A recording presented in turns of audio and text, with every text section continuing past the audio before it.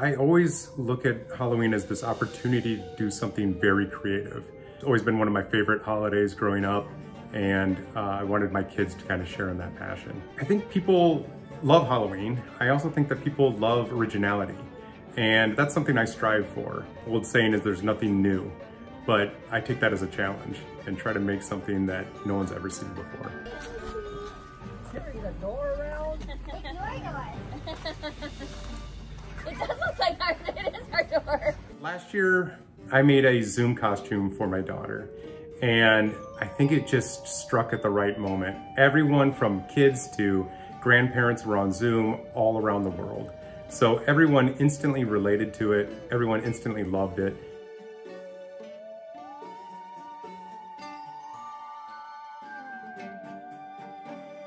This year, these costumes, we just wanted to do something fun and, and unexpected.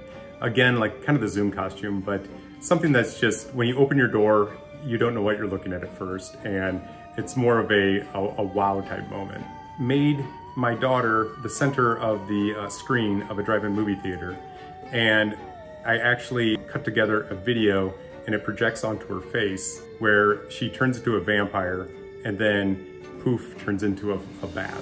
For my son's costume, I took what looks like a normal doormat, put home sweet home on there and crossed off both the homes and then wrote the word trap on there so it says sweet trap.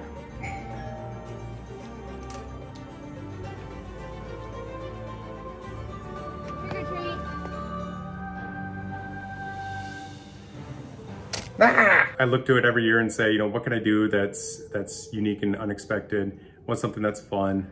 I like to bring joy.